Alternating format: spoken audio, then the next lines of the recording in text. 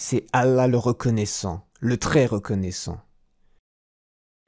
Il donne à celui qui le remercie, et gratifie celui qui le supplie, et appelle celui qui l'appelle, et donc un ajout aux remerciants et une perte aux mécréants.